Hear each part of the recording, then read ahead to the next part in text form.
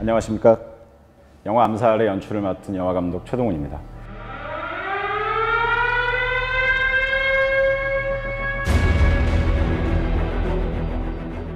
암살은 1933년을 배경으로 하나의 작전을 둘러싸고 수많은 군상들이 자신의 운명과 맞서가는 이야기예요.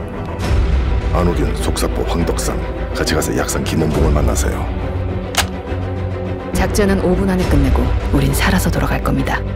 이 영화에 나오는 안호균이라는 여자는 도둑들의 예니퍼랑은 완전히 정반대의 여자입니다. 아주 묵묵하게 자기 일을 진행하는 심지가 굳은 그렇지만 계속 머릿속에서 떠나지 않는 그런 캐릭터를 하고 싶었어요. 그래서 가장 먼저 전지현 씨한테 이 얘기를 했죠. 컷. 참 좋다. 저는 확실히 배우에 대한 애착이 있어요. 제 영화를 했던 배우들이 이 영화 한 편으로 계속해서 기억에 남는 그런 배우가 됐으면 좋겠다는 일종의 책임감 같은 걸 좀 느껴요. 그러니까 캐릭터가 나오면 영화가 나오니까. 액션!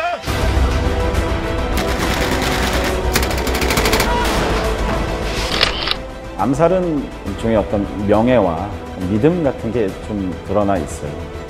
아주 힘들었던 시대였지만 아주 명예로운 사람들이 있었고 그 시대에도 저런 사람들이 존재했었고 그런 걸 보여주고 싶습니다.